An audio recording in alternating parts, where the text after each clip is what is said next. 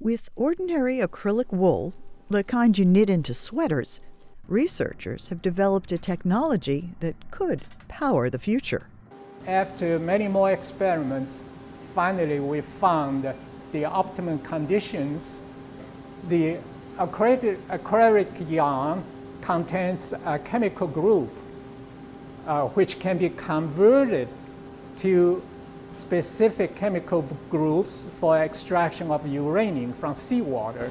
The ocean contains about three parts per billion of uranium.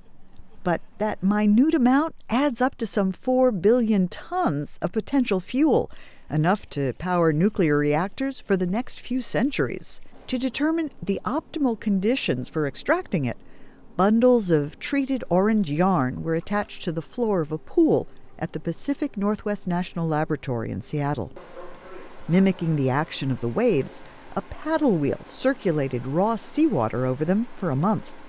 The researchers tested the yarn regularly to see how much of the radioactive substance adhered to the surface of the fibers. We're able to control seawater, we use natural seawater, we can control the temperature of that deployment, we control the current flow, so we, which are very important parameters that we've identified uh, in the performance of the absorbent. The yarn was then sent to LCW Supercritical Technologies, where it was processed to extract the uranium powder. The initial sequence yielded 5 grams of yellow cake, the basic component of the fuel rods used in nuclear power reactors. Now, 5 grams is not a lot, but scaling up the process could be a game changer for the U.S. nuclear power industry which currently imports nearly 90% of the uranium it uses.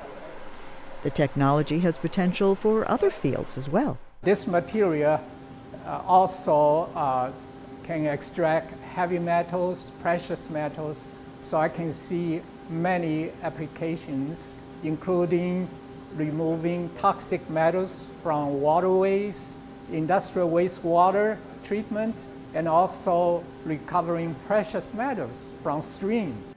And that's good news for the future of the oceans. I'm Faith Lapidus, VOA News.